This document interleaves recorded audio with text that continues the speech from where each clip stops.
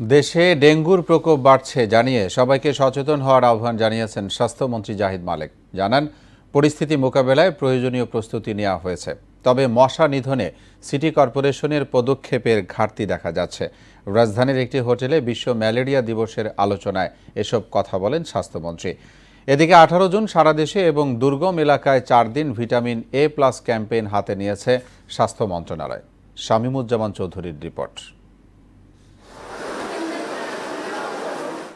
এবার মৌসুম শুরুর আগেই রাজধানী সহ সারা দেশে দেখা দিয়েছে ডেঙ্গুর প্রকোপ। চলতি বছর এ পর্যন্ত ডেঙ্গু আক্রান্তের সংখ্যা তিন হাজার আটশোর বেশি, আর প্রাণ হারিয়েছে আটাশ জন। ঢাকায় ভর্তি রোগীর সংখ্যা দুই হাজার নয়শো এগারো, আর বাইরে আটশো একানব্বই জন। মৌসুম শুরুর আগেই হাসপাতালে ডেঙ্গু রোগী বাড়ছে বলে জানান ঢাকা মেডিকেল কলেজ হাসপাতালের পরিচালক। সমসাময়িক যে ডাটা তাতে দেখা যাচ্ছে এবছরে ডেঙ্গুর প্রাদুর্ভাব অনেক বেশি যার জন্য আলটিমেটলি ডেঙ্গু রোগীর সংখ্যাও বেড়ে যাচ্ছে।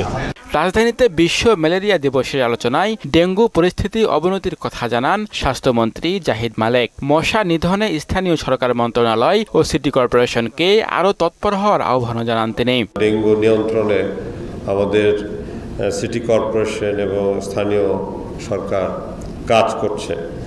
আমরা চাই যে আরও তারা বেশি করে কাজ করুক, যাতে নিয়ন্ত্রণে আসে। যে পর্যন্ত রুগী বাড়তে থাকবে, সে পর্যন্ত আমরা ভাবব যে এখনও পুরাপুরি নিয়ন্ত্রণে আনা সম্ভব হয় নাই। এখনও কাজের জায়গা রয়ে গেছে। এখনও গ্যাপ রয়ে গেছে। ভিটামিন এ প্লাস ক্যাম্পেইন নিয়ে আলাদা ব্রিফিংয়ে স্বাস্থ্যমন্ত্রী জানান আঠারোই জুন সারা দেশে ছয় থেকে উনষাট মাস বয়সী দুই কোটি বিশ লাখ শিশুকে ভিটামিন ক্যাপসুল খাওয়ানো হবে। এজন্য কাজ করবে প্রায় দুই লাখ চল্লিশ হাজার স্বেচ্ছাসেবী। ক্যাম্পেইন শুরু হবে আঠারোই জুন থেকে নিয়ে এবং একদিন চলবে। এবং যারা যেগুলো খুবই দুর্গম area hard to reach area সেখানে যেতে তো আপনার জানেন সময় লাগে। সেখানে আমরা চার দিন করব।